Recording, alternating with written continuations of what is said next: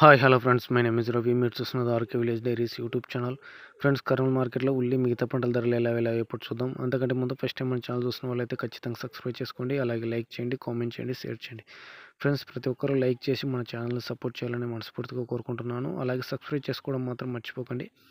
Okay friends ఇప్పుడు వీడియోలోకి వస్తే తేదీ వచ్చేసి ఇరవయో తారీఖు రెండో నెల రెండు వేల ఇరవై నాలుగు సంబంధించిన రేట్లు ఇవి. అలాగే వేరుశెనగ పుల విత్తనాలు ఆముదం వాము మొక్కజొన్నలు కందులు శనగలు ఉల్లిగడ్డలు ఎండుమిర్చి కూరలు మినుములు సోయాబీన్స్ వీటి ధరలు అయితే మనకు వచ్చేసాయి.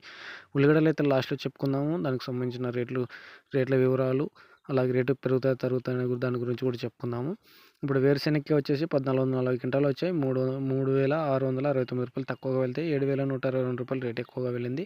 పూల విత్తనాలు అంటే సన్ఫ్లవర్ వచ్చేసి ఎటువంటి సరుకు వచ్చలేదు. ఆముదం వచ్చేసి నూట ముప్పై తొమ్మిది క్వింటాలు వచ్చాయి.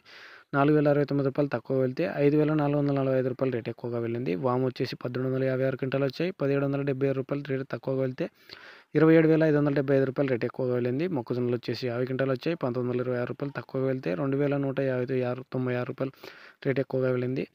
కందులు వచ్చేసి ఏడు వందల ముప్పై రెండు క్వింటాలు వచ్చాయి ఎనిమిది వందల తొమ్మిది రూపాయలు రేటు తక్కువ వెళ్తే తొమ్మిది వేల తొమ్మిది వందల అరవై ఎనిమిది రూపాయలు రేటు ఎక్కువగా వెళ్ళింది. శనగలు వచ్చేసి నూట డెబ్బై ఐదు క్వింటాలు వచ్చాయి నాలుగు వేల పది రూపాయలు రేటు తక్కువ వెళ్తే ఆరు వేల నూట డెబ్బై తొమ్మిది రూపాయలు రేటు ఎక్కువగా వెళ్ళింది. ఎండుమిర్చి వచ్చేసి తొమ్మిది వందల ఇరవై ఐదు క్వింటాలు వచ్చాయి వెయ్యిన్ని తొంభై తొమ్మిది రూపాయలు రేటు తక్కువగా వెళ్తే పద్దెనిమిది వేల ఎనిమిది నూట నూట ఎనభై తొమ్మిది రూపాయలు రేటు ఎక్కువగా వెళ్ళింది. కూరలు వచ్చేసి మూడు వందల డెబ్బై ఏడు డెబ్బై నాలుగు క్వింటాలు వచ్చాయి నాలుగు వేల నూట తొమ్మిది రూపాయలు రేటు తక్కువగా వెళ్తే నాలుగు వేల ఎనిమిది వందల ఇరవై తొమ్మిది రూపాయలు రేటు ఎక్కువగా వెళ్ళింది. మినుములు వచ్చేసి నూట పదిహేడు క్వింటాలు వచ్చాయి ఎనిమిది వేల ఐదు వందల ఒక్క రూపాయలు రేటు తక్కువ వెళ్తే తొమ్మిది వేల రెండు వందల ముప్పై తొమ్మిది రూపాయలు రేట్ ఎక్కువగా వెళ్ళింది. సోయాబీన్స్ ఎటువంటి సరుకు వచ్చలేదు ఇప్పుడు ప్రధానంగా ఉల్లిగడ్డలు చూసుకున్నట్టయితే ఎనిమిది వందల ముప్పై నాలుగు క్వింటాలు వచ్చాయి. ఆరు ఆరు వందల యాభై తొమ్మిది రూపాయలు రేటు తక్కువ వెళ్తే పద్దెనిమిది వందల తొమ్మిది రూపాయలు మధ్యస్థంగా వెళ్తే పదహారు వందల యాభై తొమ్మిది రూపాయలు రేట్ ఎక్కువగా వెళ్ళింది. ఇటు సరుకు చూసుకోండి సరుకు తగ్గింది చాలా తక్కువగా వచ్చింది. ఈ పదహారు వందల యాభై తొమ్మిది రూపాయల రేట్ అనేది ఒక లాట్ రెండు లాట్లు వెళ్ళాయి. పద్దెనిమిది వందలు పద్నాలుగు వందల రూపాయలు కొంచెం ఎక్కువగా వెళ్ళాయి.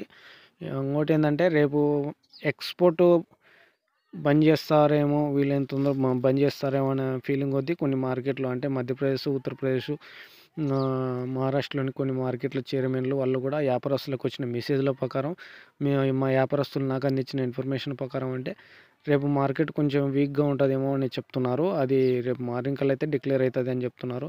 ఎందుకంటే ఎక్స్పోర్ట్ బంద్ చేస్తారనే ఆలోచన కొద్దీ రేపు మార్కెట్ వీక్గా ఉండొచ్చు అని వ్యాపారస్తులు అయితే కొంచెం డల్గా ఉన్నారు. నాకు తెలిసిన ఇన్ఫర్మేషన్ ప్రకారం కొంతమంది సరుకు కొనకుండా బంద్ చేసుకుంటున్నారు.